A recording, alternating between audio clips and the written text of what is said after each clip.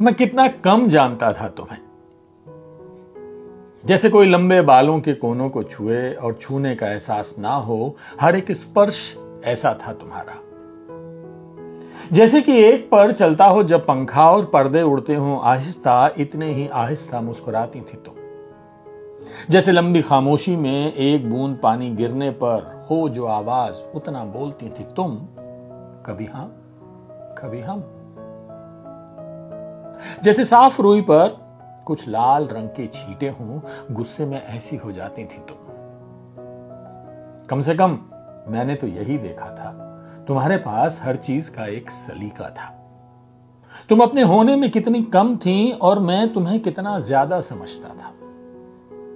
तुम अपने होने में इतनी कम थी मेरे पास कि कुछ दिनों बाद तुम खींच से मुँह मोड़ने लगी थी दूसरी तरफ़। और मैं उसे शर्माना समझता था। मैं कितना कम जानता था तुम्हें, पूरे जानने के वहम के साथ।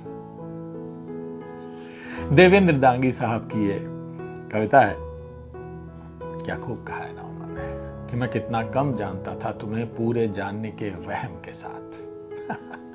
चलिए इश्क करते हैं।